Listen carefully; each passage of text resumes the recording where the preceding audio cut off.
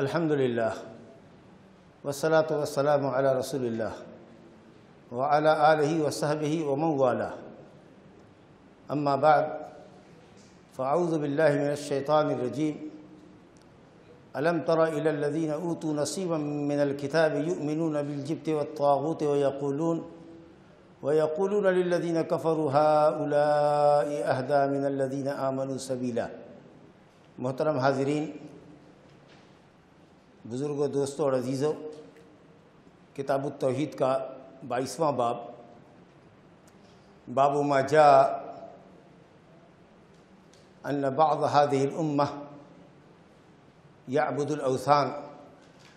اس باب کا عنوان ہے کہ اس امت کے بعض لوگ اوثان کی پرستش کریں گے، قبر کی پرستش کریں گے، غیر اللہ کی پرستش کریں گے۔ اس سلسلے میں چند آیات اور چند احادیث مؤلف نے ذکر کی۔ در حقیقت یہ باب صاحب کتاب نے اس لیے باندھا ہے کہ عباد القبور بندگان قبر شرک انجام دیتے ہیں، شرکیہ افعال انجام دیتے ہیں اور یہ کہتے ہیں کہ امت محمدیہ میں شرک واقع ہو ہی نہیں سکتا۔ کیونکہ یہ امت لا الہ الا اللہ محمد رسول اللہ پڑھتی۔ ہے تو مصنف علیہ الرحمہ نے اللہ کے کلام اور اس کے رسول محمد صلی اللہ علیہ وسلم کے کلام سے یہ ثابت کیا ہے کہ امت کی وہ ایک بڑی جماعت اللہ کے علاوہ کی پرستش کرے گی، قبر پرستی کرے گی۔ لہذا یہ کہنا کہ اس امت سے شرک کا کام نہیں ہو سکتا۔ جو کچھ کام ہم کر رہے ہیں، وہ شرک نہیں ہے، وہ بزرگوں کی عقیدت اور محبت ہے۔ یہ بات بہت غلط ہے۔ چنانچہ اس باب کے تحت مؤلف علیہ الرحمہ نے تین آیات، تین مختلف مقامات سے اور دو حدیثیں پیش کی۔ جن کا لب لباب اور خلاصہ یہ ہے کہ یہ امت بھی اگلی امتوں کی طریقے سے شرک کرے گی۔ لہذا شرک کرتے ہوئے کلمہ پڑھنے کا کوئی مطلب نہیں ہے۔ آدمی اپنی نسبت چاہے جتنی کرے اللہ کے اور اس کے رسول کے دین کی طرف، لیکن اگر اس کی زندگی میں شرک ہے تو شرک ہے۔ کیونکہ اسلام توحید کا اور عمل صالح کا نام ہے۔ آدمی شرک کا کام کرے اور بظاہر کلمہ پڑھے اور خود کو مسلمان کہے، تو اس سے وہ مسلمان اللہ کی نگاہ میں نہیں ہوتا۔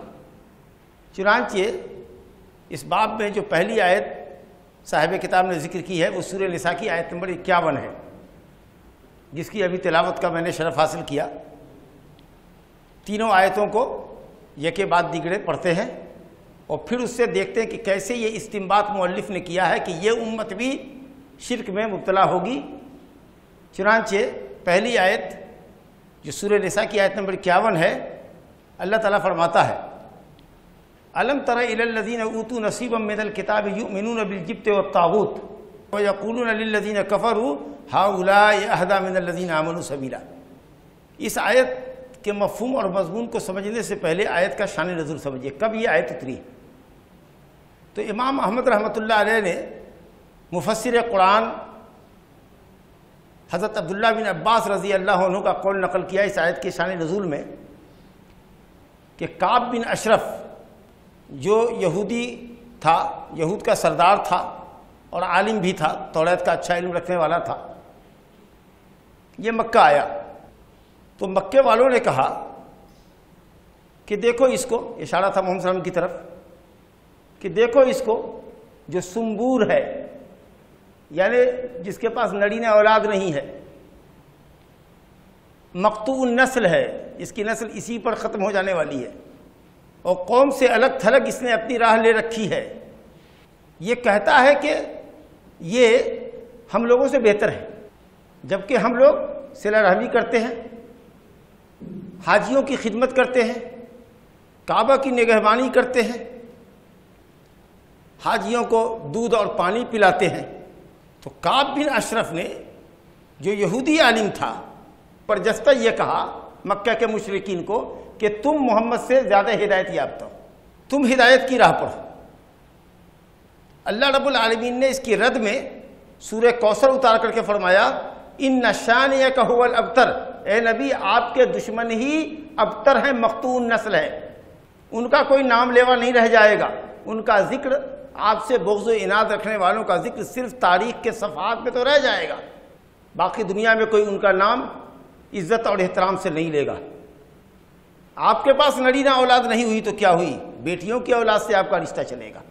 اور پھر آپ کے ماننے والے، آپ کے فالوورز لاکھوں، کروڑوں، اربوں کی تعداد میں ہوں گے جو آپ کے روحانی اولاد ہوں گے۔ اللہ آپ کے ذکر کو دوام بخشے گا۔ کیا ہوا اگر آپ کسی مرد کے باپ نہیں ہیں تو؟ آپ اللہ کے رسول ہیں اور نبیوں کا سلسلہ ختم کرنے والے ہیں، لہذا قیامت تک آنے والے لوگ جو آپ کا کلمہ پڑھیں گے، وہ سب آپ کی روحانی اولاد ہوں گے۔ اسی آپ کا ذکر باقی رہے گا۔ آپ کے دشمن دم بریدہ ہیں، ان کی نسل کٹ جائے گی، ان کا ذکر کٹ جائے گا۔ ماشاء اللہ اور اسی موقع پر اللہ نے یہ آیت اتاری۔ علم الذین اوتوا نصیب من الکتاب؟ کیا نبی آپ نے دیکھا نہیں اس کو؟ جس کو کتاب کا کچھ حصہ علم کا ملا تھا یعنی توریت جانتا تھا۔ لیکن چونکہ بے ایمان سحر اور کہانت پہ یقین رکھتا ہے اور شیطان کی پرستش کرتا ہے، شرک کی راہ اختیار کر چکا ہے۔ اس لیے اس نے اپنے ہی جیسے مشرقین کی پیٹ تھپ تھپا دی اور کہا کہ تم لوگ ایمان والوں سے زیادہ ہدایت پڑھو۔ رد میں یہ آیت اتری۔ ٹھیک اسی سے ملتی جلتی تفسیر۔ ابن ابی حاتم نے اپنی تفسیر میں اکرما رحمۃ اللہ علیہ سے نقل کیا ہے کہ کعب بن اشرف اور ہوئی ابن اختب یہ دونوں یہودیوں کے عالم تھے اور سردار بھی تھے۔ یہ دونوں مکہ آئے۔ تو اہل مکہ نے ان سے کہا کہ آپ لوگ اہل کتاب ہیں، اہل علم ہیں۔ آپ ہمارے متعلق اور محمد کے متعلق کیا کہتے ہیں؟ تو ان دونوں نے کہا کہ تم کیا ہو اور محمد کیا؟ یہ پہلے بتاؤ، جب تو فیصلہ کریں۔ کہا کہ ہمارا حال یہ ہے کہ ہم صلہ رحمی کرتے ہیں، رشتوں کو جوڑتے ہیں۔ ہم مہمانوں کی مہمان نوازی میں اپنی جوان بڑے کوہان والی اونٹنیوں تک کو ذبح کر ڈالتے ہیں۔ ہم قیدیوں کو چھڑاتے ہیں۔ ہم حاجیوں کو پہلے دودھ پلاتے ہیں، اس کے بعد تب پانی پلاتے ہیں۔ اور محمد کیا ہے؟ سمبور ہے دم بریدہ ہے، مقتول نسل ہے، اس کے پاس کوئی اولاد نہیں۔ اس نے ہماری ہماری رشتہ داریوں کو کاٹ رکھا ہے۔ یعنی کہنے کا مطلب کہ باپ بیٹے کو الگ کر دیا اس نے۔ ہم کافر ہیں، ہمارا بیٹا اس کا کلمہ پڑھتا ہے۔ ہم مسلمان ہو گئے، یا کوئی مسلمان ہو گیا، اس کی بیوی ابھی کافرہ ہے مطلب یہ کہنے کا۔ اس نے ہمارے رشتوں کو کاٹ دیا۔ اور قبیلہ غفار کے چور چٹے سب اس کا کلمہ پڑھتے ہیں۔ سراق الحدید جو حاجیوں کا سامان چڑانے والے ہیں، قبیلہ غفار کے لوگ، ابو ذر غفاری رضی اللہ عنہ کی طرف اشارہ ہے کہ اس طرح کے لوگ جو حاجیوں کا مال چڑایا کرتے ہیں، اس طرح کے لوگوں نے ان کا کلمہ پڑھ لیا۔ تو اب بتاؤ ہم بہتر ہیں کہ وہ بہتر ہیں۔ کہا، نہیں، تم لوگ بہتر ہو۔ رب العالمین نے رد میں آیت اتار دی کہ کیوں نہ یہ کافروں کو بہتر کہیں گے ایمان والوں کے مقابلے میں؟ کیونکہ یہ یومینون بلجبتے و تاغوت سحر اور کہانت پر ایمان رکھتے ہیں اور شیطان کو اپنا پیشوا سمجھتے ہیں۔ تاغوت سے حضرت عمر فاروق رضی اللہ عنہ کہا کہ تاغوت سے مراد شیطان اور جبت سے مراد سحر و کہانت۔ اور سب سے بڑا تاغوت شیطان ہی تو ہے۔ غیر اللہ کی پرستی پر آمادہ کون کرتا ہے؟ شیطان کرتا ہے۔ حالانکہ اللہ نے ان کو کتاب کا علم دیا تھا۔ توریت میں یہ جانتے کہ حضرت موسیٰ علیہ السلام آئے تھے اللہ کی توحید لے کر۔ یہودی، عیسائی سب جانتے ہیں کہ محمد صلی اللہ علیہ وسلم جس توحید کی بات کہہ رہے ہیں، یہ وہی توحید ہے جو ان سے پہلے کے تمام انبیاء نے پیش کی۔ لیکن صرف حسد اور عداوت اور بغض کی بنیاد پر حضرت موسیٰ علیہ السلام کے دین توحید سے منہ موڑتے ہوئے، حق کو چھپاتے ہوئے، حق والوں کا ساتھ نہیں دیا یہودیوں نے مشرقین کی پیڑ تھپ تھپا دی۔ کہا تم لوگ ہدایت پڑھو۔ دوسری آیت سورہ معاہدہ آیت نمبر ساٹھ میں اللہ تعالیٰ فرماتا ہے۔ کل حل انب حکم بشر منظار کا مصوبت عند اللہ ملعنہ اللہ۔ ملعنہ اللہ وغضب علیہ وجعل منہم القردت والخنازیر وعبد الطاغوت۔ کہیے محمد صلی اللہ علیہ وسلم، ان لوگوں سے جو آپ کے دین کا ٹھٹھا اور مذاق کرتے ہیں، دین کا مذاق اور تماشا بناتے ہیں اور آپ کے دین پر تانہ زنی کرتے ہیں۔ یہ بھی یہود ہیں۔ یہودیوں کا اس سے قبل ذکر ہے۔ اس دین کا مذاق اڑاتے ہیں جو دین اللہ کی توحید کا دین ہے۔ جو خالص اللہ سبحانہ و تعالیٰ کی عبادت کا دین ہے۔ اس دین کا مذاق اڑاتے ہیں۔ ان سے کہیے کہ تم جن باتوں پر میرا مذاق اڑاتے ہو، میرے دین کا استحضا کرتے ہو وہ کوئی عیب کی چیز نہیں ہے، وہی تو اصل ہے، وہی تو خلاصہ کائنات ہے، وہی تو انسانوں کی پیدائش کا مقصد ہے، وہی تو انبیاء کرام کی بیست کی غرض و غایت ہے۔ تم بے ایمان ہو اس لیے حقیقت کو اپنی کتابوں میں چھپاتے ہو۔ میں تمہیں بتاتا ہوں کہ اللہ رب العالمین کے نزدیک انجام کے اعتبار سے بدترین لوگ کون ہیں۔ قل حل و نبی حکم من ذالکم میں بتاؤں تم کو کہ اللہ رب العالمین کے پاس انجام کے اعتبار سے بدترین لوگ کون ہیں۔ دیکھو صفات کو سنو غور سے۔ کہیں وہ تم ہی تو نہیں ہو۔ یہودیوں سے کہیے کہ بدترین لوگ کون ہیں اللہ کے پاس انجام کے اعتبار سے؟ میں ان کی پہچان بتاتا ہوں، ان کی صفات بتاتا ہوں۔ دیکھو اس آئینے میں کہیں تم ہی تو نہیں ہو۔ ہے تو وہی۔ ملعنہ اللہ۔ سب سے بدترین انسان اللہ رب العالمین کے پاس انجام کے اعتبار سے وہ ہے جس پر اللہ نے لانت کی۔ اللہ نے اپنی رحمت سے دھتکار دیا۔ وغضب علیہ۔ اور اللہ تعالیٰ اس پر غصہ ہوا۔ ایسا غصہ کہ کبھی راضی نہیں ہوگا اس سے۔ وہ منهم القردة والخنازیر اور اسی میں سے کچھ لوگوں کو سور اور بندر بنا دیا۔ مراد اصحاب السبت ہیں، جو سمندر کے کنارے یہودی آباد تھے۔ ان کی ہر درمیوں کی وجہ سے، ان کی شرارتوں کی وجہ سے اللہ رب العالمین نے ان کو یہ سزا دی۔ کہ ان کی روزی تنگ کر دی۔ سنیچر کا دن انہوں نے اپنے لیے عبادت اور احترام کا رکھا تھا کہ سنیچر کے دن دنیا کا کوئی کام کاج نہیں کریں گے، صرف عبادت کریں گے۔ تو سنیچر کے علاوہ دن میں اللہ رب العالمین کے حکم سے مچھلیاں سمندر کے نیچے بیٹھ جاتی تھی ستھے آپ پر نظر نہیں آتی تھی۔ یہ آزمائی دیکھیے، اللہ رب العالمین جب کسی کو آزماتا ہے تو کیسے لقمہ چھینتا ہے اور کیسے فتنے میں مبتلا کرتا ہے اس کو؟ ہفتے کے چھ دنوں میں مچھلیوں کا کہیں نام و نشان تر نہیں تھا۔ پورے سمندر میں کھوج مارتے تھے، کوئی مچھلی نہیں ملتی تھی۔ لیکن جیسے ہی سنیچر کا دن آتا، جو ان کی عبادت کا دن ہوتا، تو بڑی بڑی مچھلیاں ستھے آپ پر تیرتی ہوئی نظر آتی۔ کچھ دن دیکھا، کچھ دن دیکھا صبر کا پیمانہ چھلک گیا۔ اب چاہا کہ شکار کیسے کرے؟ تو اس کے لیے ہیلا بہانے تراشے سنیچر کے دن یا سنیچر کے دن سے پہلے، جیسے اب کل سنیچر کا دن آنے والا نا تو آج ہی کانٹے ڈال دیے۔ چارہ ڈال کے کانٹا ڈال دیا جس سے مچھلیاں پھنساتے نا۔ جال پھینک دیا۔ اور دریا اور سمندر سے لگ کر کے گڑھا کھود دیا۔ کہ پانی کے بہاؤ پر مچھلیاں گڑھے میں آ جائیں گی۔ اور سنیچر کے دن تماشا دیکھ رہے ہیں اور مچھلیاں پھنس بھی رہی ہیں جالوں میں۔ اور گڑھے میں بھی آ رہی ہیں۔ اور جیسے سنیچر کا دن ختم ہو گیا، پانی کے مہاڑے کو بند کر دیا۔ اور رات میں یا اتوار کے دن شکار نکال لیا۔ اور پورے ہفتے مزے سے کھایا۔ اور کہا کہ ہم نے مخالفت کہاں کی؟ ہم نے سنیچر کے دن تو کوئی شکار نہیں کیا۔ بظاہر تو ہم حق پر ہیں، لیکن بباطل کیا تھے؟ باطل پر تھے۔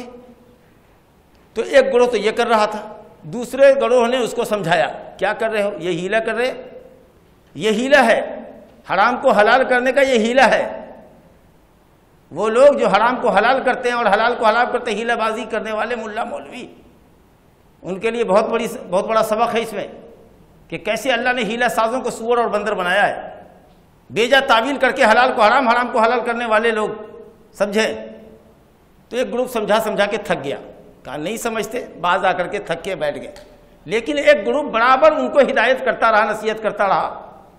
وہ گروپ جو تھک کے بیٹھا تھا، اس نے کہا، کیوں ایسی قوم کو قوم اللہ علیکم او معذبہم عذاب شدیدہ کیوں ان کو نصیحت کرتے؟ ان کو تو اللہ ہلاک کرنے والا ہے۔ کہا قالو معذرت الى ربکم ولعلہم یرجعون۔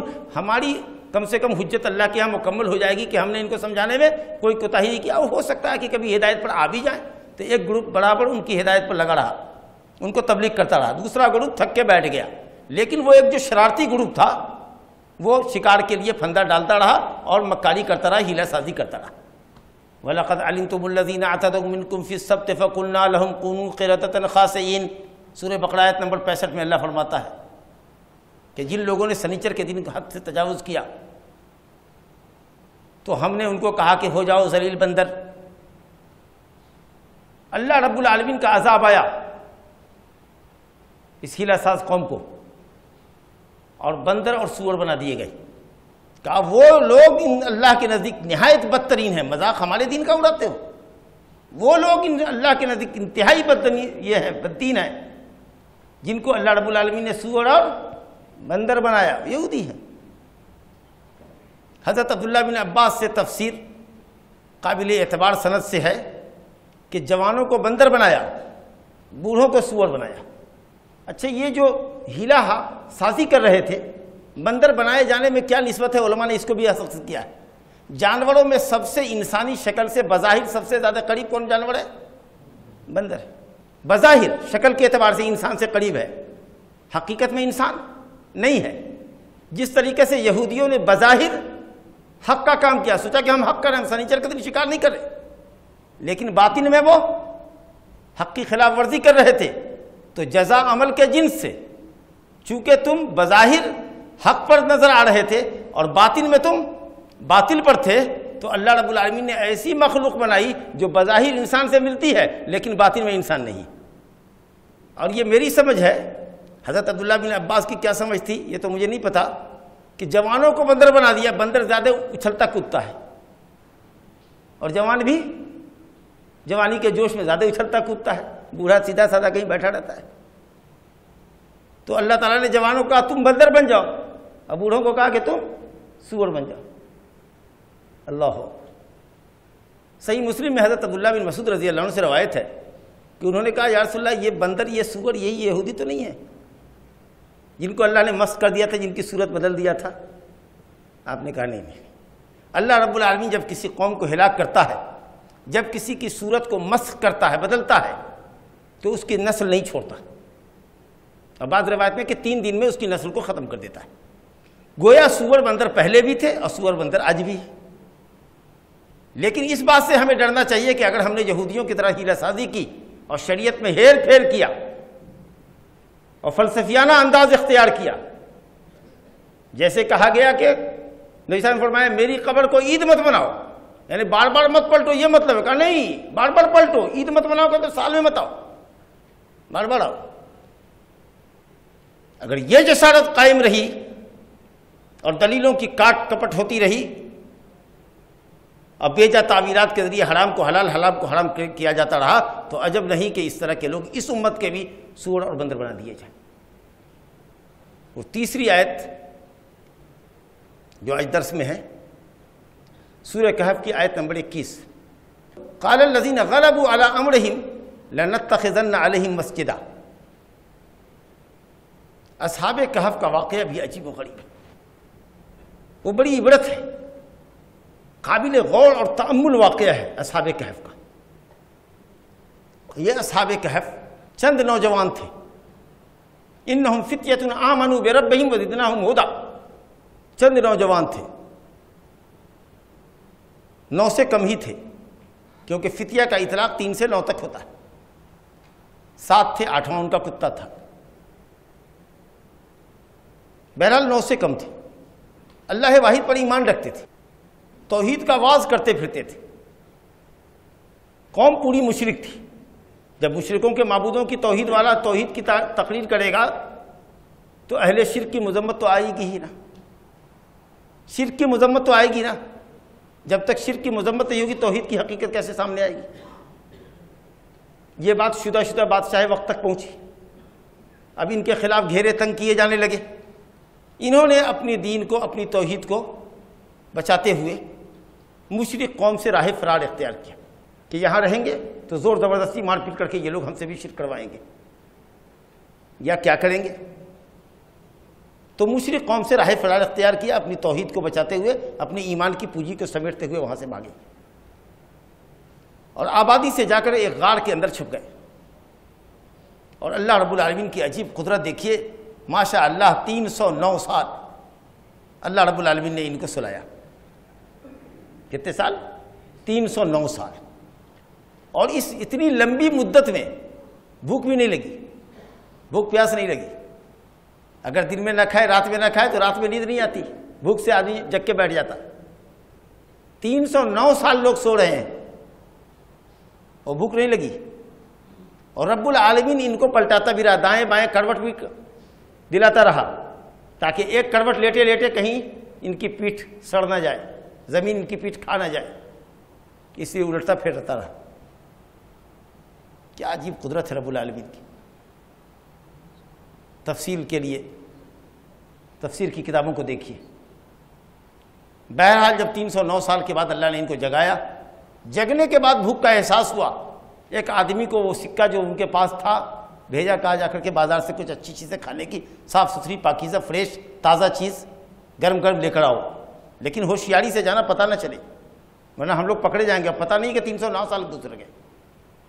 خلاصہ یہ کہ یہ بندہ گیا بازار میں لینے کے لیے، معاملہ کھل گیا اور سب لوگ آ گئے گاڑ میں۔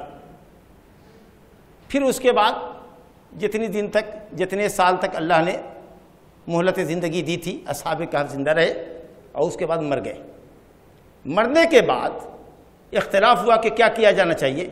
تو جو لوگ با اختیار تھے چودھری قسم کے لوگ تھے، جن کو آج کی اسلام کے لیے دبنگ لوگ۔ انہوں نے یہ کہا کہ ہم ان کی قبروں کے اوپر مسجد بنائیں گے، تاکہ ان کا نام و نشان مٹنے نہ پائے۔ یہ بہت بڑی تاریخ ہے۔ اس تاریخ کو محفوظ رکھنے کے لیے ضروری ہے کہ ہم ان کی قبروں پر مسجد بنائیں گے، تاکہ یہ پہچانے جائیں گے، لوگ ان کی قبروں پر آئیں گے، برکت حاصل کریں گے۔ جیسا کہ نصرانیوں کا طریقہ ہے۔ اہل علم نے کہا کہ یہ لوگ نصارہ میں سے تھے۔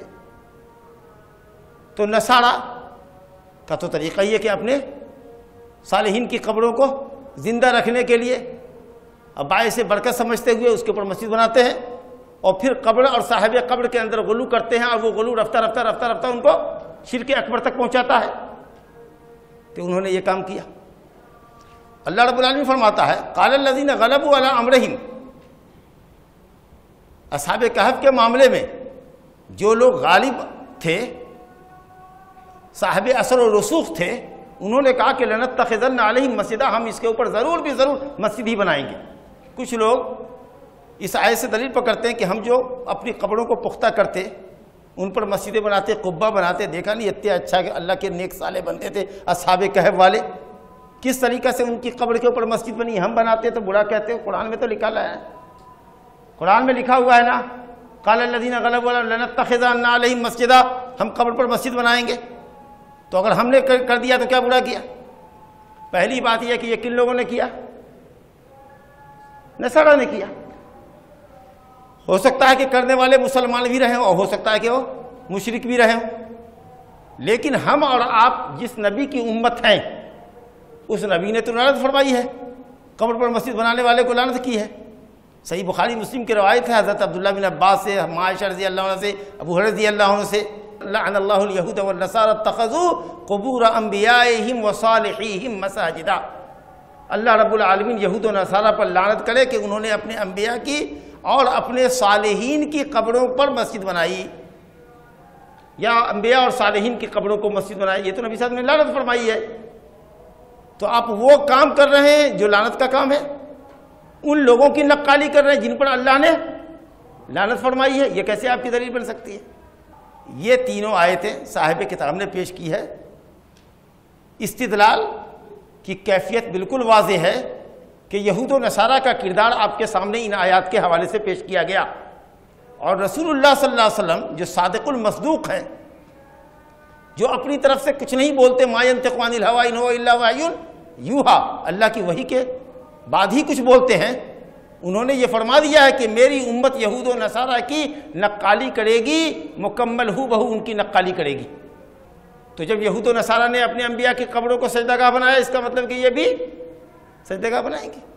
جس طرح انہوں نے غیر اللہ کو پوجا، اسی طریقے سے یہ امت بھی پوجے گی۔ یہ آیتوں سے استدلال ہے کہ اس امت کے بھی لوگ قبروں کو پوجیں گے، اللہ کے علاوہ کو پوجیں گے، جیسا کہ اہل کتاب نے پوجا اور اہل کتاب نے نبیوں کی ولیوں کی قبروں کو سجدہ گاہ بنایا اور ان کی ذات میں غلو کر کے اللہ سے اللہ کو چھوڑ کر انہی سے مدد مانگتے رہے یا اللہ رب العالمین کو ان کا واسطہ اور وسیلہ دیتے رہے چنانچہ اس کے بعد ہی جو حدیث ذکر کی ہے، صحیح بخاری اور مسلم کی دی ہے، جس کے راوی ابو سعید رضی اللہ عنہ ہیں۔ ابو سعید خدری رضی اللہ عنہ۔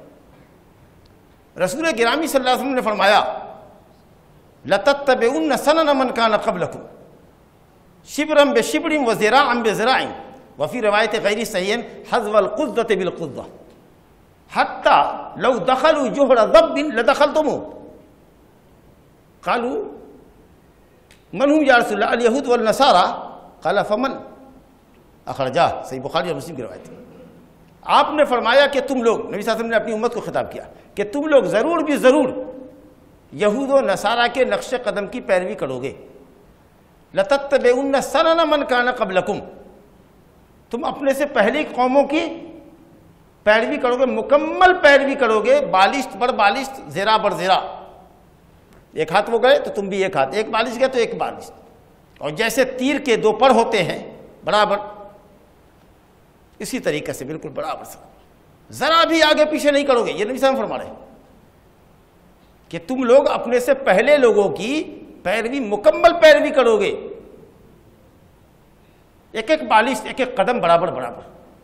اور تیر کے دو ریش جو بالکل برابر میں ہوتے ہیں متصاوی ہوتے ہیں، اس طریقے سے برابری ہوگی۔ یہاں تک کہ اگر ان میں کا کوئی اور کیجیے گا، گوہ کے سوراخ میں داخل ہوا ہوگا، تو تم بھی گوہ کے سوراخ میں داخل ہوگے۔ گوہ ایک جانور ہے، رینگنے والا۔ اس کا سوراخ انتہائی تنگ ہوتا ہے اور انتہائی گندا جانور ہوتا ہے۔ جہاں غلاطت کرتا ہے، وہیں کھاتا ہے، وہیں سوتا ہے، وہیں رہتا ہے۔ یعنی اتنی گھٹیا حرکتیں کرو گے۔ یہ بخاری شریف کی حدیث ہے۔ اور ترمیزی میں روایت ہے اور مستدرک حاکم میں روایت ہے۔ سند میں عبد الرحمن بن زیاد افریقی ہے، جو ضعیف روی ہے۔ لیکن کئی ترک سے روایت آنے کی وجہ سے، شواہد کی وجہ سے حدیث حسن ہے۔ اسی حدیث کے اندر یہ ہے کہ یہاں تک کہ اگر یہود و نصارہ کا کوئی آدمی اپنی ماں کے پاس کھلم کھلا آیا ہوگا بدکاری کرنے کے لیے، تو اس امت کے اندر بھی ایسے لوگ پائے جائیں گے فرمایا، اس امت میں بھی ایسے لوگ پائے جائیں گے جو اپنی ماں سے بدکاری کریں گے۔ ولیعظ باللہ۔ اور بالکل حسن روایت ہے سعید بن منصور میں، اور مستدرک حاکم میں، کہ اگر ان میں کا کوئی برسر راہ اپنی بیوی کے ساتھ وتی کرتا ہوا ہوگا تو اس امت میں بھی ایسے نہنجار پائے جائیں گے جو سر راہ اپنی بیوی کے ساتھ اس طرح کا سلوک کریں گے اور دنیا دیکھتی رہے گی۔ یہ ہے مشابہت۔ اب یہ نبی صلی اللہ علیہ وسلم نے فرمایا اس حدیث کی روشنی میں سمجھیے کہ کس طریقہ سے اس امت نے یا امت کی ایک بھاری اکثریت نے یہود و نصرہ کی دقالی کی۔ ظاہر ہے کہ تمام چیزوں کو آپ کے سامنے رکھ نہیں سکتے، نمونے کے طور پر۔ حدیث میں آیا کہ یہود و نصارہ اپنے گرجا گھروں کو، اپنی عبادت خانوں کو، یہود کے گرجا گھر کو کرنیسا کہتے ہیں ان کو بیع کہتے ہیں۔ عبادت خانے، یہودیوں نے اپنے عبادت خانے، عیسائیوں نے اپنی عبادت خانوں کو اتنا بنایا سوارا اس قدر نقش و نگار کیا اور اس قدر رنگ و روغن کیا کہ گویا وہ عبادت خانہ نہ ہو کر کے عجائب خانہ۔ مسلمانوں کی مسجدوں کا کیا حال ہے؟ ایک ایک مینارے پر، ایک ایک گنبد پر اتنے اتنے پیسے خرچ کیے جاتے ہیں گنبد والوں کے یہاں ایک ایک پہ ایک ایک گنبد پر اتنے پیسے خرچ کیے جاتے ہیں کہ ایک مسجد تیار ہو جائے۔ اتنا بڑا منارہ بنایا جاتا ہے کہ شہر کے کسی کونے سے وہ منارہ نظر آنا چاہیے۔ چاہے اس میں نمازی ہونا ہو۔ قبروں پہ بھیڑ لگے گی، ہوٹلوں میں بھیڑ لگے گی تو مسجدوں میں کدھر بھیڑ آئے گی؟ کہا ان کے گھر آباد ہوں گے، چوک چوراہے آباد ہوں گے، مسجدیں ویران ہوگی یہود و نصارہ نے اپنے انبیاء اور صالحین کی قبریں کو سجدہ بنایا۔ یہ کہنے کی کوئی ضرورت نہیں ہے کہ دنیا میں اس وقت آپ دیکھیے تو شاید لاکھوں سے زیادہ قبریں ایسی ہوں گی جو سجدہ گاہ بنی ہوئی ہوں گی۔ اور لوگ اس کے اوپر سرب و سجود ہو رہے ہوں گے اور نظر و نیاز کے چڑھاوے چڑھا رہے ہوں گے۔ رسول گرامی صلی اللہ علیہ وسلم نے فرمایا کہ اگلی قومیں اس لیے ہلاک ہوئی، یہود و نصارہ کہ ان کے یہاں اگر جرم کرنے والا غریب طبقے کا انسان ہوتا تو اس پر سزا نافذ کرتے۔ لیکن اگر کوئی مالدار جرم کرتا تو اس کو تہ دے دیتے۔ اگلی قوم اس لیے ہلاک ہوئی۔ قسم اللہ کی، فاطمہ بنت محمد نوز باللہ کی فاطمہ چوری کرے۔ لیکن قسم اللہ کی، آپ فرما رہے اگر فاطمہ بنت محمد چوری کرے لقت محمد الدا تو محمد صلی اللہ علیہ وسلم اس کا ہاتھ کاٹا لے اگلی قوموں کے یہاں یہ پیمانہ تھا فیصلے کا۔ اس امت کا فیصلے کا پیمانہ کیا ہے؟ پوری بات سب پوری امت کے لیے نہیں کہی جا رہی ہے۔ بھاری اکثریت ایسے لوگوں کو ملے گی جن کے یہاں عدل و انصاف کا دوہرا پیمانہ ہے۔ اللہ تعالیٰ نے قرآن میں فرمایا اتخذو احبار ہوں اور رحبان ہوں ارباب من دون اللہ۔ یہود و نصارہ نے اپنے عالموں کو، اپنے راہبوں کو اللہ کے علاوہ رب بنا لیا۔ حلال و حرام کا اختیار دے دیا۔ اس امت کے اندر بھی اتنے لوگ آپ کو مل جائیں گے جنہوں نے عالموں کو، اپنے راہبوں کو، اپنے پیروں کو اتنا مقام دے رکھا ہے۔ آپ قرآن حدیث سے ہٹ کر کے جو بھی آپ آپ جو کہیں گے، بس وہی دین ہے ہمارا۔ ہم نے قرآن حدیث نہیں سمجھنا۔ آپ تو سمجھتے ہی آپ ہمارے پیر مرشد ہیں۔ جو آپ کہہ دیں امنا صدقنا، اندھی تقلید ہے۔ گویا اس امت کے بھی ایک بڑے طبقے نے اپنے عالموں کو، اپنے پیروں کو یہ اختیار دے رکھا ہے کہ وہ شریعت کا قانون جو بتائے قرآن حدیث کی پرواہ نہیں۔ قرآن حدیث چھوٹا ہے تو چھوٹے، اس کی کوئی تعویل ہوتی ہے تو کر دو۔ لیکن عالموں کی اور درویشوں کی باتوں کو نہ چھوڑو۔ ایسے بھی آپ کے لوگ ملیں گے اس امت کے اندر۔ یہود کے یہاں معاملہ کیا تھا؟ بنیادی طور پر یہ تھا کہ یہود کے عالم علم رکھتے ہوئے بے عمل تھے۔ علم تھا ان کے پاس لیکن عمل نہیں تھا۔ اور یشترون بیات اللہ سمن کلیلہ تھوڑی پونجی کے عوض اللہ کی آیتوں کو بیچ دیتے تھے۔ من چاہا فتوا دے دیتے تھے۔ پیسے لاؤ، ایک لاکھ روپیہ لاؤ فتوا دیتا تمہاری مطلب کا۔ یہ یہود کے علماء کی شان تھی۔ علم کے باوجود عمل نہ کرنا اور دین کو بیچنا، یہ یہود کے مولویوں کا کام تھا۔ اور نصارہ کے اندر جو ان کے پادری اور عابد و زاہد لوگ تھے، ان کے پاس علم نہیں ہے، عمل بہت تھا۔ اور بھی شریعت سے ہٹ کر نت نئی بدتیں ایجاد کرتے تھے، عمل کرتے تھے۔ بغیر دلیل کے۔ تو اس امت کے اندر وہ علماء جو علم رکھتے ہوئے عمل نہیں کرتے یا دین فروشی کرتے ہیں، لوگوں کو کتاب و سنت سے روکتے ہیں، وہ یہود کے عالموں کے مشابہ ہیں۔ اور اس امت کے وہ عابد و ظاہر جن کے پاس علم نہیں ہوتا، لیکن عبادت کے نام پر نت نئی بدتوں کو سمیٹتے ہوئے چلے جا رہے ہیں اور سمجھتے ہیں کہ بہت زیادہ ہم عبادت کر رہے ہیں۔ وہ یہ سبون سنا اور سمجھتے ہیں کہ ہم بہت تیر مار رہے ہیں، بہت نیکی کا کام کر رہے ہیں۔ راہب اور تاریخ دنیا بنے ہوئے ہیں۔ جتنے یہ وظائف، اذکار، اعمال کے اندر جو گیانہ طریقہ اختیار کیے ہوئے ہیں اور لے آ رہے ہیں۔ ہاتھی بے ریل کی طرح رات میں لکڑی ہارا، لکڑی چننے والا جو ہوتا ہے کبھی کبھی سانپ کو بھی لکڑی سمجھ کے گٹھڑ میں باندھ لیتا ہے۔ ویسی کیفیت۔ محدث سفیان ابن عین رحمۃ اللہ علیہ فرماتے ہیں کہ اس امت کے جو عالم فاسد ہیں، وہ مشابہ ہیں یہود کے علماء سے، اور اس امت کے جو عابد و زاہد فاسد ہیں قرآن حدیث کی دلیلوں کے بغیر عمل کرتے ہیں، بغیر علم کے عمل کرتے ہیں اور بدت کا ارتکاب کرتے ہیں، وہ نصارہ کے راہبوں کے مشابہ۔ آپ صلی اللہ علیہ وسلم نے فرمایا کہ یہودی انگلیوں سے سلام کرتے ہیں، تم لوگ انگلیوں سے سلام مت کرو۔ معاف کیجیے گا، لوگوں کی عادت ہوگی یہ سلام کا انداز ہے۔ انگلیوں سے سلام ہوتا ہے، زبان سے نہیں ہوتا۔ کبھی کبھی زبان بھی ہلتی ہے، انگلیاں بھی ہلتی ہیں، لیکن اکثر یہ اسٹائل ہے۔ یہودیانہ اسٹائل ہے۔ ہاں بہت دور کوئی آدمی ہے جہاں تک آپ کی آواز نہیں پہنچتی، تو یہاں سے زبان سے بھی السلام علیکم کیجیے اور ہاتھ سے بتائیے تاکہ سمجھے کہ ہاں۔ کوئی بہرا ہے، آپ سلام منہ سے بھی بولیے اور ہاتھ سے بھی بتائیے تاکہ لگے کہ ہاں یہ سلام کر رہا ہے۔ کوئی آدمی تیز گاڑی سے گزر رہا ہے، نہیں سن سکتا ہے۔ آپ نے سلام کیا، اس نے بھی جواب دیا۔ ہاتھ سے اشارہ کیا، سمجھ میں آیا کہ ہاں سلام کا جواب مل گیا۔ لیکن یہ کیا اسٹائل ہے بیٹھے ہوئے سامنے یہ ہاتھوں سے سلام ہو رہا ہے، یہ طریقہ ہے۔ لباس اور پوشاک کے اندر کیا مسلمانوں کا طریقہ ہے؟ اخلاق و عادات کے اندر کیا طریقہ ہے؟ مجھے بڑی بڑی رکھیں گے، داڑھی نہیں ہے۔ ہپی کٹ بال رکھیں گے۔ ان کی عورتوں کے اسٹائل میں ہماری عورتیں۔ جیسے جیسے فیشن وہ کرتی ہیں، وہ فیشن آتا ہے، اس کی نقالی ہماری عورتیں ہمارے مت کرتے ہیں لباس اور پوشاک۔ ہمارے یہاں ہجری تاریخیں لوگوں کو معلوم نہیں ہوتی۔ شادی، بیاہ، وغیرہ میں اپنے امور کی انجام دہی میں ہم عیسوی تاریخ، میلادی تاریخیں استعمال کرتے ہیں۔ یہ کون سی اسلام پسندی ہے آپ کی؟ وہ فسٹ جنوری مناتے ہیں، باطل عیدیں مناتے ہیں۔ آپ بھی ان کا دیکھا دیکھی، نبی کا، اپنے اولیاء کا، اپنا، اپنے بچوں کا، یہاں تک کہ اپنی شادی کی سالگرہ مناتے ہیں۔ ایک بات ہو تو کہیں تن ہم داغ داغ شد، پنجا پنبا کجا کجا نہیں۔ پورا جسم ہی جب چھلنی ہو تو آدمی کہاں کہاں مرہم ڈالے گا؟ کہاں کہاں پہاڑ رکھے گا؟ یہ چند باتیں ہیں۔ بالکل نہیں جان فرمایا لتتب اننا سلن من کانا قبلکم جو لوگ تم سے پہلے گزرے ہیں، کہا، یا رسول اللہ، کون؟ یہود و نصارہ۔ تب آپ نے کہا، تب اور کون؟ وہی تو یہود و نصارہ کی پیروی کرو گے، ایک دم مکمل پیروی کرو گے۔ ایک ایک بالش بڑا بڑا ذرا آگے پیچھے نہیں۔ تو یہودیوں نے انبیاء اور صالحین کی قبروں کو سجدگاہ بنایا، شرک و بت پرستی کیا، غیر اللہ پرستی کی۔ جو آپ نے سنا یہ امت بھی کرے گی۔ تو مسئلہ واضح ہو گیا کہ اس امت کے بھی بعض افراد غیر اللہ کی پرستش کریں گے وسن کی پرستش کریں گے، قبروں کی پرستش کریں گے اور عملاً آپ دیکھ رہے ہیں۔ یہ نبی صلی اللہ علیہ وسلم کی نبوت کی دلیل ہے کہ اللہ کے بتانے پر آنے والی نسل کو آپ نے اپنی امت کو جو خطرات سے آگاہ کیا تھا، ایک ایک حرف صادق آ رہا ہے۔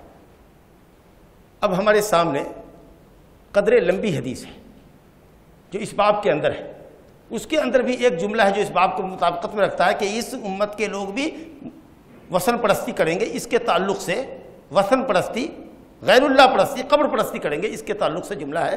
اس کے دیے ایک لمبی حدیث لائے صحیح مسلم کی روایت۔ صحیح مسلم میں صوبان رضی اللہ عنہ سے روایت ہے۔ وہ کہتے ہیں کہ نبی صلی اللہ علیہ وسلم نے فرمایا، نہایت غور سے اس حدیث کی سماعت کیجیے۔ کہا آپ صلی اللہ علیہ وسلم نے کہ ان اللہ زوالی الارض۔ فرائی تو مشاڑ کہا و مغاربہ وہ ان امتی سیب لوگ ملک ہا ماں زوالی منہا وہ اوتیت الکنزین الحمر والابیض نیچا نے فرمایا کہ اللہ رب العالمین نے روئے زمین کو سکیڑ کر کے، جمع کر کے میرے سامنے پیش کر دیا۔ پوری روئے زمین میرے سامنے آئینہ کی طرح سے، جیسے ایک آئینے پر آپ کی تصویر آتی، ویسے پوری دنیا کو اللہ رب العالمین نے آئینے کی شکل میں آپ کے سامنے پیش کر دیا۔ یا پوری دنیا کا نقشہ جیسے ٹی وی کے پردے پر آ دے، اس کو آپ نے دیکھا۔ اللہ نے پوری روئے زمین کو ہمارے لیے جمع کر دی۔ بعض علماء کہتے ہیں کہ نہیں، اللہ نے آپ کی نگاہ میں اتنی تیزی دی اور تمام ہوائی ہوا جس رکاوٹوں کو، پہاڑ، دریا، سمندر اور درخت کو ہٹایا اور کہا کہ ایک دم دنیا کے آخری کنارے کو بھی پچھم دیکھ لیجیے، پورب دیکھ لیجیے۔ کوئی حج نہیں، اللہ رب العالمین کی قدرت ہے۔ یہ بھی ہو سکتا ہے۔ یا یہ ہے کہ پوری دنیا کا نقشہ سمیٹ کر کے اللہ رب العالمین نے آپ کے سامنے کر دیا۔ تو میں نے دیکھا کہ میری امت کی سلطنت مشرق سے لے کر مغرب تک ہے۔ دنیا کے سب سے آخری کنارے پر بھی ہے، پچھم میں اور پورب میں بھی۔ ماشاء اللہ اندلس۔ جزائر۔ جزائر اندلس۔ آخری کنارہ دنیا کی پچھم کا۔ اور عرب والے، اس زمانے کے اندر ہندوستان ہی کو، نہر کے اس پار والے کو، سمندر اس پار والے کو، سات سمندر اس پار والے ہم لوگ ہیں۔ تو ہند اور سندھ کو سمجھتے دنیا کا پورا ہے الحمدللہ اس کے ساتھ ساتھ حکومت آگے تک گئی۔ سمترا اور جاوترا تک۔ انڈونیشیا تک گئی۔ کہا مشرق سے لے کر مغرب تک میں نے دیکھا کہ میری امت کے لوگوں کی حکومت ہے۔ ماشاء اللہ تبارک اللہ۔ اور مجھے سرخ اور سفید دو خزانے دیے گئے۔ سرخ اور سفید دو خزانوں سے مراد روم اور ایران کی حکومتیں مسلمانوں نے فتح کر لی، جو دو بڑی طاقتیں تھیں اس زمانے میں۔ سیدنا عمر فاروق رضی اللہ عنہ کے زمانے میں یہ دونوں حکومتیں مسلمانوں کے قبضے میں آ گئی فارسیوں کے پاس، ایرانیوں کے پاس ان کے خزانے میں چاندی اور جواہرات زیادہ تھی اور رومیوں کے خزانے میں سونے زیادہ تھے تو احمر سے مراد سونا، اور ابیت سے مراد سفید سے مراد چاندی اور جواہرات۔ اور جابر میر سموڑا کی روایت ہے عبد الرحمن میر سموڑا کی صحیح ہے ان کے اندر کہ واللہ، قسم اللہ کی، جس کے ہاتھ میں میری جان ہے، تم لوگ کیسر و کسرا کے خزانے نکال کر اللہ کے راستے میں خرچ کرو گے۔ یہ نہیں پیشن گوئی فرما رہے اور یہ پیشن گوئی، حضرت عمر فاروق کے زمانے میں صادق آ رہی یہ ایک سینٹینس ہوا۔ یہ جو آپ نے دیکھا۔ نبی صاحب کی رحمت اور شفقت ملاحظہ کیجیے اپنی امت کے ساتھ۔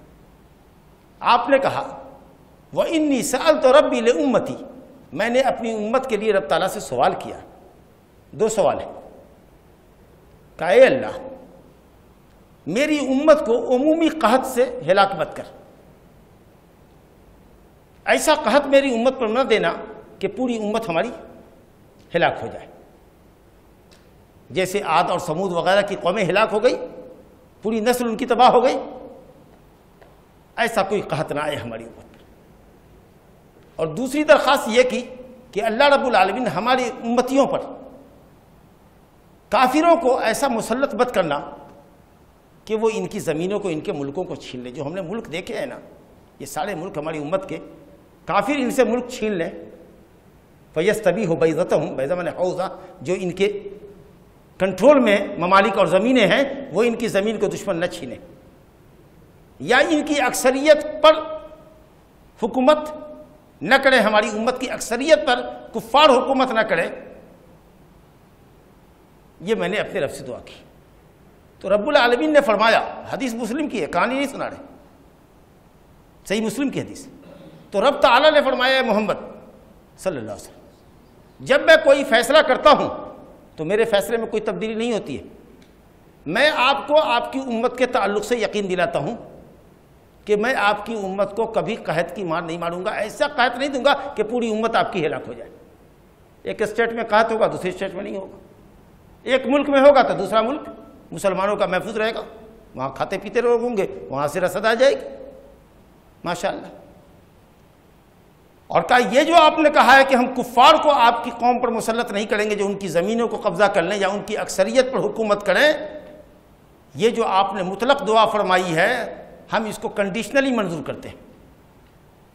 وہ کنڈیشن یہ ہوگی کہ ہم مسلط تو نہیں کریں گے دشمن کو، ساری دنیا کے لوگ مل کر کے بھی ان کے دشمنان اگر چاہیں کہ ان کی زمینوں پر قبضہ کر لیں، ان کے یا ان کی اکثریت پر حکومت کریں، تو رب العالمین کہتا ہے، یہ میرا وعدہ ہے کہ ایسا نہیں ہوگا۔ ساری دنیا کے لوگ اگر مل کر کے بھی چاہیں تو ایسا نہیں ہو سکتا۔ لیکن یہ شرط یہ ہوگی کہ یہ خود آپس میں ایک دوسرے کو ہلاک نہ کریں اور ایک دوسرے کو قیدی نہ بنائیں۔ یعنی اگر ان کے آپس میں خانہ جنگی ہوگی، جب دو مسلم ممالک لڑیں گے تو تیسرا کافر ملک کو ٹپکائیں گے۔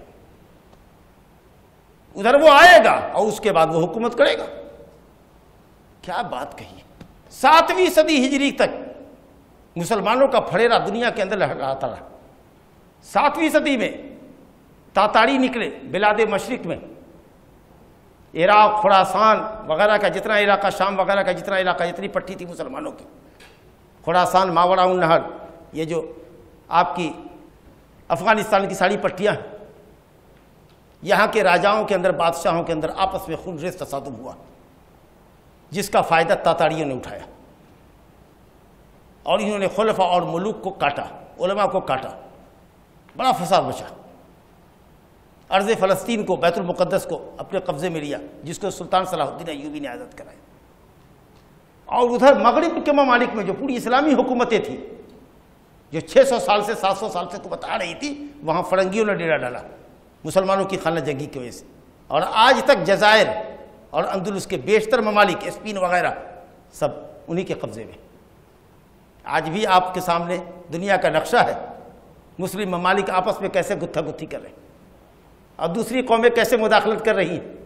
تو ظاہر ہے کہ آپ کی زمین پر قابض ہوں گی، آپ کے لوگوں کو غلام بنائیں گی۔ جب آپ کی آپس میں خانہ جنگی شروع ہوگی تو رب العالمین نے کہا، تب ہم دوسروں دشمن دشمن کو مسلط کر دیں گے۔ ہاں اگر یہ مل کے رہے، متفق رہے، اور امت کا اتفاق صرف اللہ کی کتاب اور نبی کی سنت پر ہوگا، صرف اللہ کی توحید پر ہوگا، رسول اللہ کی اطاعت پر ہوگا، اس مرکز وحدت سے، مرکز اتحاد سے ہٹیں گے، اختلاف کے شکار ہوں گے، کھینچا تانی ہوگی۔ نتیجہ یہ ہوگا کہ دوسرا ملک آئے گا، کافر آئے گی۔ اللہ تو یہ نہیں ہے کہ نبی صلی اللہ علیہ وسلم نبی ہے، آپ کی دعا اللہ نے ضرور قبول فرمائی، مستجاب الدعوات تھے، لیکن مختار کل نہیں تھے۔ اللہ رب العالمین نے کنڈیشنلی قبول کیا۔ یہ نہیں کہ آپ جو کہہ دیجیے ہم قبول کر لیں، آپ ہی تو سب کچھ ہے، داتا ہے نا۔ رب العالمین مسلحتوں کو سمجھتا ہے، اللہ یہاں تک تو مسلم کی حدیث ہے۔ اس کے بعد امام برقانی نے کتاب حدیث کی لکھی ہے صحیح، جس کو مسند برقانی بھی کہتے ہیں۔ یہ برقانی ابو بکر، احمد بن محمد بن احمد بن غالب الخوارزمی اشرف بڑے فقی بڑے محدث ہیں۔ تین سو چھتیس میں پیدا ہوئے، چار سو پچیس میں ان کا انتقال ہوا۔ ہے ایک اچھی حدیث کی کتاب لکھی ہے انہوں نے مسرد خوارزمی اس کے اندر صحیح صنعت سے آگے حدیث ہے۔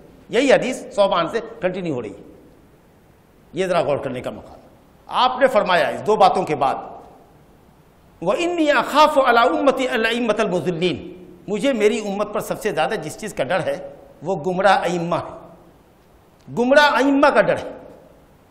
وہ ایزا وقع علیہم السیف اور جب میری امت میں تلوار ایک مرتبہ اتر جائے گی، تو لم یورف یوم القیامت قیامت تک وہ تلوار ہٹے گی نہیں امت سے۔ اس جملے کو دیکھیے۔ مجھے میری امت پر گمراہ ائمہ کا ڈر ہے۔ ائمہ میں نے امام کی جمع۔ ائمہ امام کی جمع۔ امام سے مراد حکمراں، گمراہ حکمراں، ظالم حکمراں بے ایمان مولوی اور سنت سے ہٹ کر کے عمل کرنے والا عابد و زاہد۔ پبلک فالو کرتی ہے انہی تینوں کو، حاکم کو فالو کرتی ہے، اپنے عالموں کی بات مانتی ہے اور عبادت گزاروں سے متاثر ہوتی ہے نا؟ گمراہ یہ کب ہوں گے؟ گمراہ یہ تب ہوں گے جب شریعت کے خلاف عمل کریں گے۔ قرآن اور حدیث سے ہٹ کے ہوں گے۔ جبھی تو گمراہ ہوں گے۔ آپ سوئم فرما رہے ہیں کہ مجھے میری امت پر گمراہ ائمہ کا ڈر ہے۔ حاکم بھی گمراہ ہوگا، عالم بھی گمراہ ہوگا اور جو عابد گمراہ ہوگا، اس سے میری امت کو بڑا نقصان پہنچے گا۔ بہت نقصان پہنچے گا۔ ظالم حکمراہ ہے، امت کو نقصان پہنچے گا۔ عالم بد دین بے ایمان ہے، دین فروش ہے۔ قرآن حدیث سے ہٹ کے بات کرتا ہے۔ اور بڑا مولوی اگر ہو، تو ایک پوری دنیا کو اپنے ساتھ لے کر تباہ کرتا ہے۔ بہت بڑا بزرگ ہے، بڑا عابد و زاہد اس کی عبادت تقوی کا کیا کہنا اس کے لاکھوں مریدان ہیں۔ سوچئے خود گمراہ ہے، قرآن حدیث سے ہٹ کے ہے، تو لاکھوں اس کے مریدان گمراہ اس سے بڑا امت کے لیے کیا المیہ ہوگا؟ عبداللہ بن مبارک نے بہت صحیح کہا، وما افسد الدین الا الملوک وہ احبار و سعین و رحبان دین کو صرف بگاڑا، بادشاہوں نے، اور بے عمل بد دین دین فروش ملاؤں نے، اور بغیر دلیل کے عمل کرنے والے عابدوں اور زاہدوں نے۔ اللہ آج کیا بات ہے؟ گمراہ زاہدوں کا گمراہ لوگوں کا کیا حال ہے؟ وہ لوگوں کو گمراہ کرتے ہیں۔ کہ دیکھو بھائی، تم میرے مرید ہو، میں تمہارا پیر ہوں، ٹھیک ہے؟ زندگی میں جو ہمارا رشتہ ہے، وہ مرنے کے بعد بھی قائم رہے گا۔ تم کو کوئی بھی پریشانی ہو، تو میری قبر پر آ جانا۔ مجھ سے کہنا، میں تمہاری حاجت پوری کروں گا، کرواؤں گا۔ یہ کہتے، میں زمین کے ایک ہاتھ نیچے رہوں گا، تم ایک ہاتھ اوپر رہو گی اتنی دوری تو ہوگی۔ کیا کہتے؟ کہ وہ آدمی کس کام کا؟ اس آدمی میں کوئی بھلائی نہیں جو اپنے مرید کو ایک ہاتھ سے مدد نہ کرے، ایک ہاتھ کی دوری سے۔ ہم ایک ہاتھ زمین کے پیٹ کے اندر رہیں گے، تم ایک ہاتھ اوپر رہو گے۔ اتنے قریب ہوں گے ہم دونوں۔ واللہ مذاق نہیں کر رہا۔ تم مجھ سے کہنا میں تمہیں جہنم سے نجات دلاؤں گا۔ تمہاری حاجتیں پوری کروں گا، پوری کرواؤں گا۔ دیکھیے کیسی گمراہی ہے۔ وہ لوگ ایسے شہروں میں آپ کو مل جائیں گے۔ ننگے دھرنگے چل رہے ہیں۔ لوگ کہتے ہیں ان کو بچھو ارے، یہ واصل باللہ ہیں جی۔ قسم اللہ کی، مصر میں بعض ایسی قبر شام کے علاقوں میں ہے کہ علماء نے لکھا ہے کہ ننگے گھومتا تھا غلادت کھاتا تھا۔ اور آج سب سے بڑی قبر جو پوجی جاتی ہے، وہ اسی کی مولویوں پر تانا زنی کرتا تھا علماء پر۔ ارے، یہ کیا جانے گا؟ یہ ظاہر علم رکھتے ہیں، ظاہر علم۔ قرآن، حدیث کا علم بھی کوئی علم ہے، یہ ظاہر علم ہے۔ ہمارے پاس باطن کا علم ہے، باطنی علم ہے۔ یہ لوگ ظاہری علم رکھتے ہیں، ہم لوگ باطنی علم ہے نماز نہیں پڑھتے، ذکر و تلاوت سے کوئی مطلب نہیں۔ کہا یہ واصل باللہ ہیں، اتنے بڑے بزرگوں کہ یہ پہنچے ہوئے اللہ سے مل گئے۔ تم کو ابھی اللہ تک پہنچ رہا ہے، تم عبادت کرو۔ یہ تو پہنچے ہوئے پیر ہے ان کو نماز کی کیا ضرورت؟ سوچئے یہ ائمہ مزلین ہے اللہ اکبر۔ اس کی اہمیت کا آپ اندازہ کیجیے کہ یہ کتنی بڑی بات ہے اور ائمہ ہدا اور ائمہ ضلالت کے اندر فرق کرنا کتنی ضروری ہے، کتنی اہم چیز ہے اور اسی وجہ سے ہم کو اللہ تعالیٰ نے دعا سکھائی کہ تم نماز میں آؤ تو دعا کرو۔ اہدر سرات المستقیم، یہ اللہ سرات مستقیم کی رہنمائی فرما۔ ائمہ ہدا کی سرپرستی ہم کو حاصل ہو۔ اچھے علماء، اچھے عابد و زاہد، اچھے حکمران ہماری رہنمائی کرے کون؟ جو قرآن و سنت کے مطابق کرتے ہیں، جو علم پر عمل کرتے ہیں، علم کے مطابق عمل کرتے ہیں۔ یہ سرات مستقیم۔ غیر المغضوب علیہم ولدالین مغضوب علیہم کا راستہ مت دیکھا یہودیوں کا، جن کے پاس علم تھا، عمل نہیں تھا۔ ایسا کوئی مولوی ہمارا سربراہ نہ ہو۔ ولدالین اور گمراہوں کی رحمت دیکھا۔ جن کے پاس علم نہیں تھا، مگر عمل بہت تھا، نصارہ۔ بغیر علم کے عمل کرتے تھے نت نہیں، ہزاروں طرح کی بدعات کرتے تھے۔ ایسی مت گویا علم اور عمل کی جوڑا ہوگی، جو قرآن اور حدیث کے علم کی راہ ہوگی، دلیل کے مطابق عمل کی راہ ہوگی، الحمدللہ وہی ہدایت کی راہ ہوگی۔ اور اس کے علاوہ اگر کوئی ملا مولوی، کوئی عابد و زاہد آپ کو ٹھگتا ہے، سمجھ جائیے کہ یہ گمراہ ہے۔ یہ گمراہ ہے۔ یہی کرائٹیریا ہے۔ قرآن اور سنت کے مطابق کہتا ہے الحمدللہ۔ اس کے علاوہ کہتا ہے کچھ نہیں۔ کل ان کن تم تو اللہ فتح یحببکم اللہ ویغفر لکم ذنوبکم اللہ غفور رحیم اللہ اور اس کے رسول کی پیروی رسول کی پیروی اللہ کی محبت کی دلیل بات رسول کی پیروی کی کرو کسی کے روب میں مت آؤ اور کسی کی عظمت اور جلال سے خوف زدہ مت ہو سب کی عظمت کے اوپر اللہ کی عظمت اور سب کے قول کے اوپر اللہ کا کلام اور اس کے رسول کا کلام تو کہا علیہ وسلم نے کہ مجھے میری امت کے اوپر گمراہ ائمہ کا ڈر ہے، گمراہ حاکموں کا، گمراہ مولویوں کا، گمراہ عابد و زائدوں کا۔ اور فرمایا کہ ایک دفعہ تلوار گر جائے گی اگر امت کے اندر تو پھر اٹھے گی نہیں۔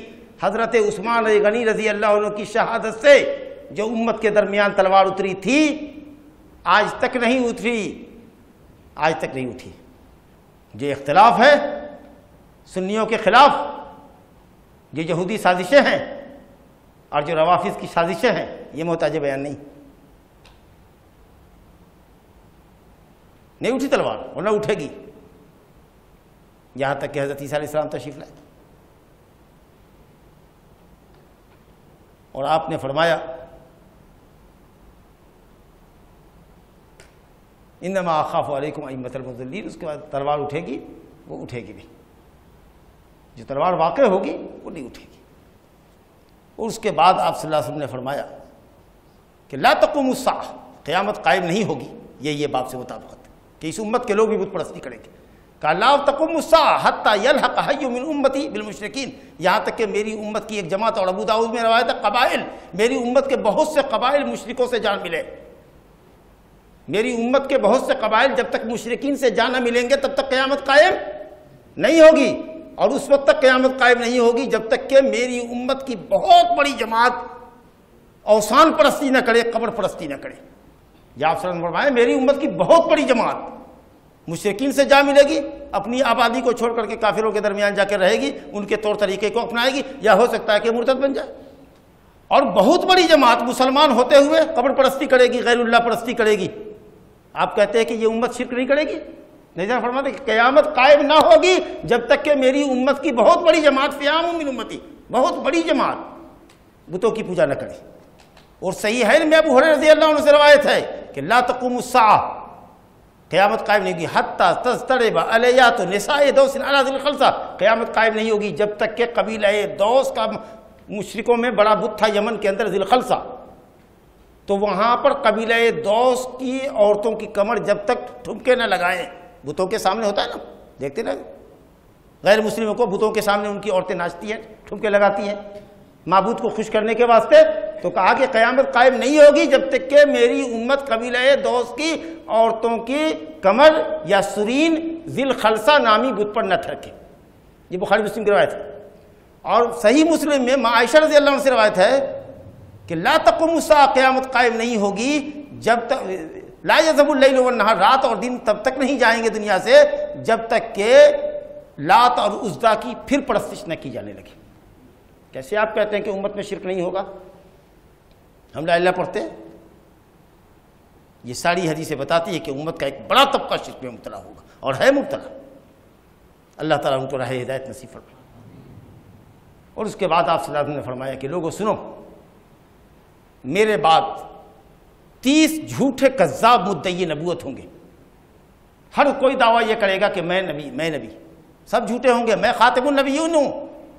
سورہ حضاب آیت نمبر چالیس میں اللہ موقع محمد ابا آدم میرے جارے کو ولا کی رسول اللہ و خاتم النبیین نبیوں کا سلسلہ ختم کرنے والے۔ مہر لگ گئی۔ اب کوئی نبی نہیں آئے گا۔ مگر تیس نبوت کے جھوٹے دعوے دار ہوں گے۔ یہ تیس بڑے لوگ ہوں گے جن کے ماننے والے ہزاروں لاکھوں کی تعداد میں ہوں۔ اور گورنمنٹ حکومت بھی ان کی بیکنگ کر رہی ہوگی۔ وہ لوگ جو مالی خلیہ کے مریض ہوتی ہے، پاگل ہوتے ہیں، تو پاگل پنی کا دورہ کرتا ہے، میں نبی۔ تو ایسے لوگ تو برساتی میٹکوں کی طرح بہت ہوں گے، ہزاروں ہو سکتے۔ چھ مہینہ کے لیے نبوت کی دفلی بجائی، اس کے بعد چپ ہو گئے۔ لیکن تیس دبنگ قسم کے لوگ نبوت کا دعویٰ کرنے والے جی جن کے پیچھے ہزاروں لاکھوں ان کے فالوور ہوں گے۔ نبی السلام کی زندگی میں مسلمہ کذاب، یمامے میں نبوت کا دعوے دار ہوا، نبی کی زندگی میں۔ اسود انسی، یمن میں۔ طلحہ اسدی، سجاہ تمیمیہ۔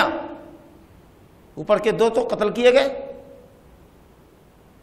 اسود انسی نبی کی زندگی میں قتل کیا گیا۔ مسلمہ قذاب کو حضرت ابوبکر کے زمانے میں قتل کیا گیا۔ اور سجاہ تمیمیہ اور یہ مسلمان ہوئے۔ طلحہ اسدی اور سجاہ تمیمیہ، یہ دونوں مسلمان ہوئے۔ پھر اس کے بعد مختار بن عبید سخفی مدعی نبوت ہوا۔ پھر عبد ولید بن عبد الملک کے زمانے میں؟ یا مروان بن عبد الملک کے زمانے میں؟ حارث قذاب نبوت کا دعویٰ کرتا اس طریقے سے آتے جائیے اور ہندوستان میں انگریز بہادر کی سرپرستی میں مرزا غلام احمد قادیانی۔ قادیان پنجاب میں نبوت کا دعوت ٹھوک کے بیٹھ گیا۔ اور گورنمنٹ نے اس کی سرپرستی کی۔ اور ماشاء اللہ علماء اسلام نے اس کا نعت قبض کر دیا۔ اس کی تابوت میں آخری کل ٹھوکی۔ اہل حدیث کے سپوت عظیم سپوت شیخ الاسلام ابو الوفا صلی اللہ علیہ رحمۃ اللہ علیہ۔ اس کو کہا کہ دیکھو اب ایسی بات ہے، دلائل کی بحث ہوتی۔ جب دلائل سے تنگ آ گیا مرزا، تو اس نے مولانا صلی اللہ کو کہا کہ تم اپنے اخبار میں چھاپ دو کہ ہمارے اور تمہارے درمیان بہت بحث ہو گئی۔ اب جو جھوٹا ہوگا وہ سچے کی زندگی میں مر جائے گا۔ یہ مباہلہ۔ حضرت صلی اللہ صاحب نے چھاپ دیا۔ ماشاء اللہ تبارک اللہ، یہ قادیانی مردود مرا اس کے بعد مولانا صلی اللہ مرضی چالیس سال بعد تک زندہ اور جو بھی مدعی نبوت کا ذاب ہوتا ہے، اس کی موت، کتے کی موت ہوتی ہے۔ مردہ غلام محمد قادیانی بھی حیضے کی بیماری میں مرا۔ چھیرا لگ گیا، پیخانہ کرتے کرتے مرا، پیخانے پر پڑا ہوا رہا، اس کے مریدان کھوج رہے، کدھر گیا کدھر گیا، کبھی نہیں ملا تو سوچا ذرا پیخانہ دیکھیں، بنتا اندر سے، توڑا تو دیکھا کہ غلازت میں رکھتے تھے۔ اور جب اس کی لاش اٹھائی جا رہی تھی، تو بھنگی مردوں نے اور عورتوں نے اس کے اوپر غلط پھینکی۔ ختم ہو گیا تھا معاملہ۔ پھر دشمن اسلامی دشمن طاقتوں نے اس کو سر اٹھانا شروع کر دیا۔ پھر قادیانی کی تحریک کر رہے نوجوانوں کو بڑگلا بڑگلا کے لے جا رہے پیسے کی لالچ دے رہے اللہ تعالیٰ ان کا زور توڑے۔ اس طریقے سے بڑے بڑے لوگ تیس ہوں گے جو نبوت کا دعویٰ کریں گے۔ برساتی میڈک کی طرح سے آواز میں پڑھنے والے تو بہت ہے لیکن صاحب شوکت، قوت فالوورز کی کثرت، یہ تیس ہوں گے۔ اور آخری نبوت کا جھوٹا تو مدعی دجال ہوگا۔ جس کو حضرت عیسیٰ علیہ السلام قتل وہ آخری ہوگا، تیسواں۔ کہا، لوگوں میں آخری اور سنو، اس بگڑی ہوئی دنیا کے اندر، نبی صاحب فرمایا، میری امت کا ایک طبقہ، ایک چھوٹی سی جماعت اللہ پر آیت عظیمہ ہے یہ، بہت بڑی نشانی ہے۔ کہ میری امت کا ایک چھوٹا سا گروہ حق کے اوپر ہمیشہ قائم رہے گا۔ اللہ کی مدد اس کے ساتھ شامل حال رہے گی کہ اس کے مخالفین ہزار مخالفتوں کے باوجود اس کا کچھ بگاڑ نہیں سکیں گے۔ یہ نبی صاحب کی پیشن گوئی ہے۔ یہ کون لوگ ہوں گے؟ یہ وہ لوگ ہوں گے جو نبی صاحب کے طریقے پر ہیں، صحابہ کے منہج پر ہے جو قرآن و حدیث والے ہیں۔ ان کے علاوہ کوئی دوسرا گروپ نہیں ہو سکتا۔ حضرت امام احمد بن حنبل، حضرت عبداللہ بن مبارک اور حضرت علی بن مدینی، امام بخاری رحمۃ اللہ علیہ فرمایا علم یقون اہل الحدیث فلاں ادری منہم اگر یہ اہل حدیث کا طبقہ نہیں ہے تو مجھے نہیں معلوم کہ کون اور ہو سکتا۔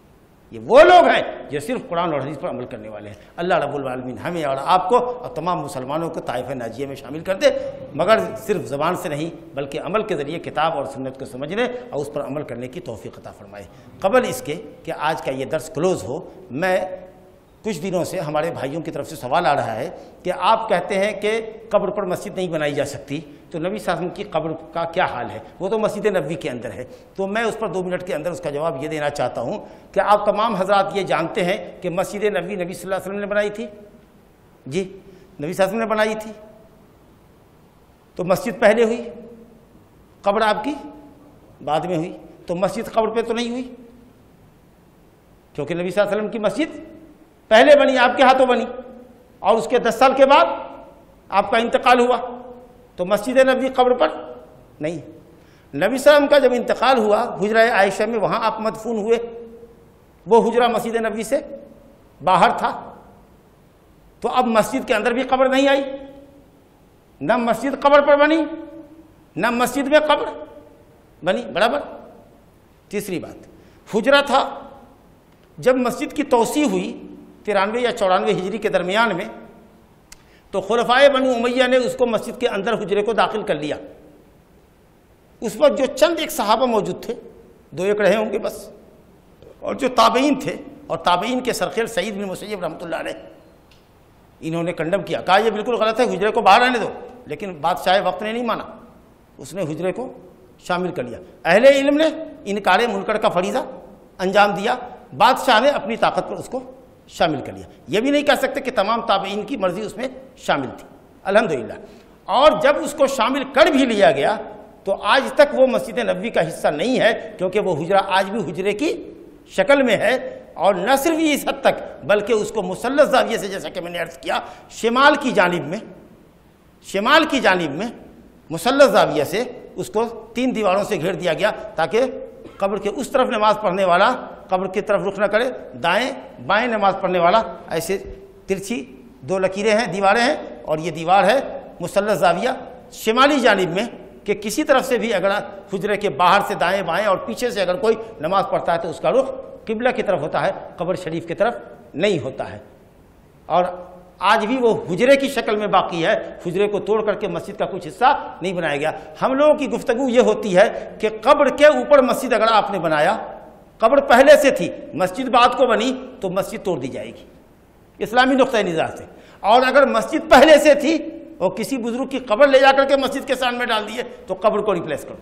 مسجد نہیں ٹوٹے گی، قبر وہاں سے ریپلیس کی الحمدللہ مسجد نبی نہ قبر پر ہے، اور نہ مسجد نبی کے اندر نظام کی قبر بنائی گئی تھی۔ وہ حجرے کے اندر تھی، حجرہ الگ رہا، اور ماشاء اللہ اسی سال تک تراسی سال تک الگ رہا اس کے بعد لوگوں نے شامل کیا، علماء نے انکار کیا اور آج بھی وہ حجرہ الگ ہی ہے اور اس کو تین مسلس دیواروں کے ذریعے گھیر کر کے الگ کیا گیا ہے۔ ہم سمجھتے ہیں کہ نبی کی قبر کا حال اور قبر پر مسجد بنائے جانے یا مسجد کے اندر قبر ڈالنے کے مسئلے کا فرق آپ کے سامنے واضح ہو گیا ہوگا۔ وہ صلی اللہ علیہ نبینا محمد و علیہ و صحبی اجمعین۔